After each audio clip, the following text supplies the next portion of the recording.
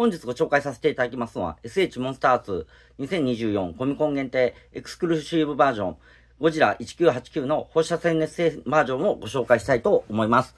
こちらの方、開封していきたいと思います。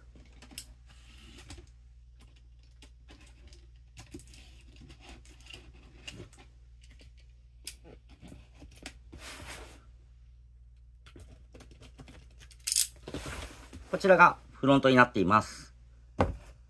レフト、バック、ライト、ライト、で、フロント、トップリード、トップリード、ロ。になっています。それでは開けていきます。なんか今季から取り出しやすいように、このように袋に入っていますね。袋に入っています。で、ここで止めてありますね。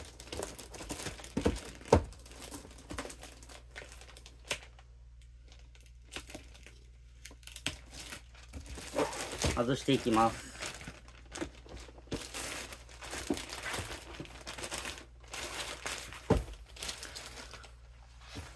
こちらがフロント。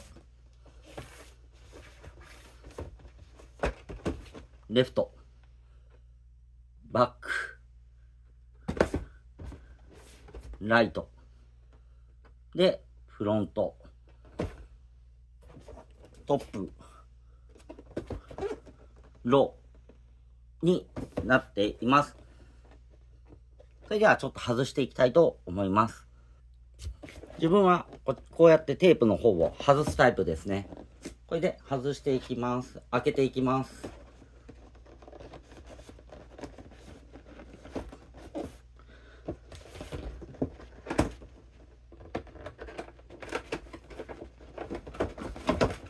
やっぱり硬いくけど、手で開ける方が早いですね。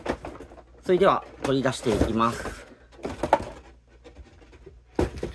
入ってる感じはこのように入っています。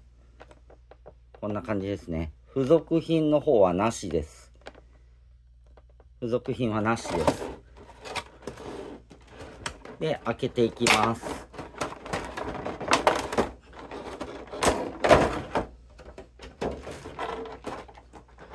まんま外していきます。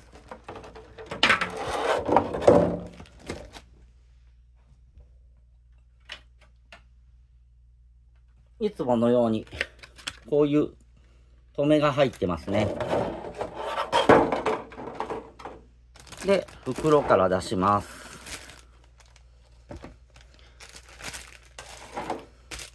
こういうのもね、全部自分は取っておきます。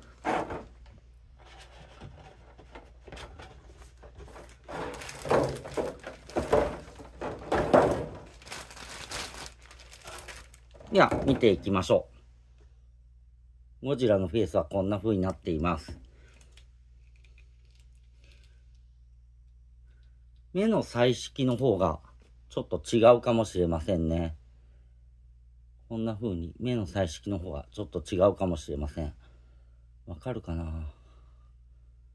こんな感じです。で、背びれは結構柔らかいっす。こう結構もっと硬いのかなと思ったら柔らかいですし、先端までがね、こう、ちゃんと染まっていないっていうのが、自分はすごく、このモンスターアーツで残念なとこですね。で、まあ、着ぐるみが重視っていう方もいるので、着ぐるみはね、結構、やっぱり先端までが発光していないので、うん。もっとね、この色が背びれまでしっかりなっていてくれると自分は嬉しいですよね。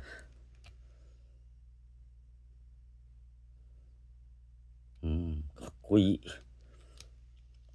ちょっとぼやけますけどね、かっこいいっすね。こんな感じです。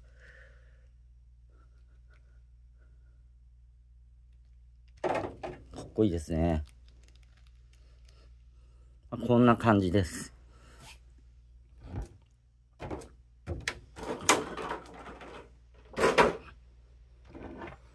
でね、関節はね、結構ゆるゆるです。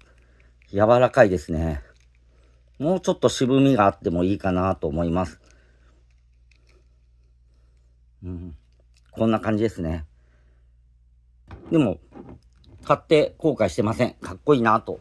モンスターアーツ好きなのでね、あのー、このシリーズは自分はしっかり集めていきたいなと思っているので、買っては、買って後悔はしてませんね。こんな感じです。むちゃむちゃかっこいいっす。フロント、レフト、バック、ライト、で、フロントになっています。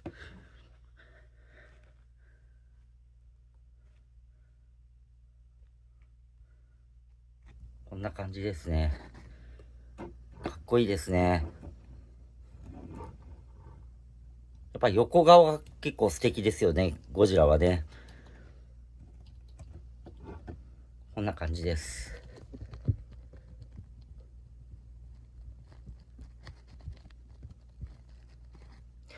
本日ご紹介させていただきましたのは、SH モンスターアーツコミコン限定2024エクスクルーシブバージョンゴジラ1980今日発行モデルをご紹介させていただきました。